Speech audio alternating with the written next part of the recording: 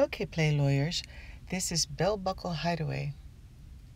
So these are the facts. Someone comes into your office and they say, I was in Tennessee and I thought, well, I'd like to go to Bell Buckle on my way to Fall Creek Falls State Park.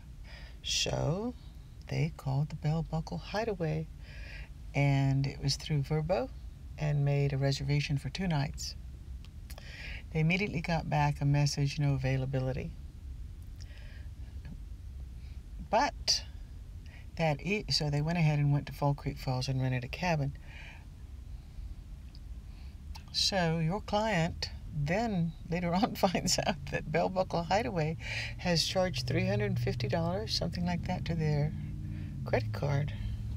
So they say to you, Lawyer Jones, what am I to do? I called Vrbo and they said no, Bell Buckle Hideaway had to give the money back.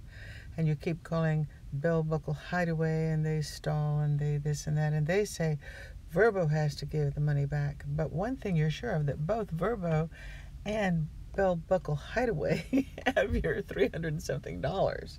So what do you do? Okay, I'll give you some options. Number one, file a criminal complaint with a prosecutor and for Bell Buckle, the DA or whoever.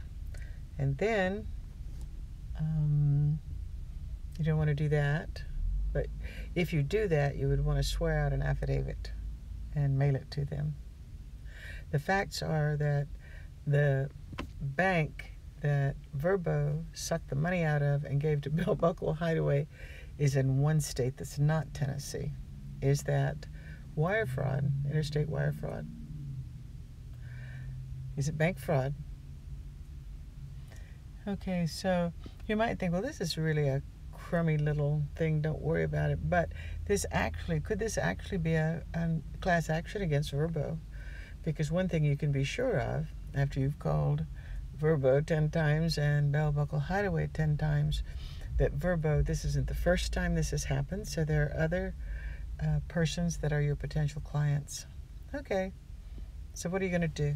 Play law. So, play lawyers, do you want to take this case? It's such a negligible amount of money. Should you just tell them to forget it?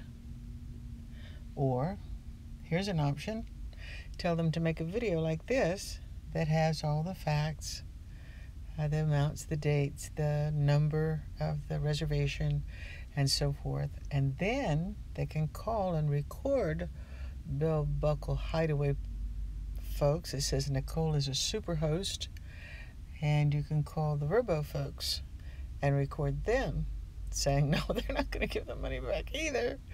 And uh, then, well, what do you do with that? Well, that would bolster your case with the prosecutor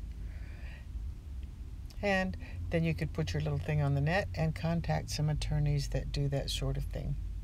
Maybe class actions or I don't know. I don't do class actions myself. All right, play law.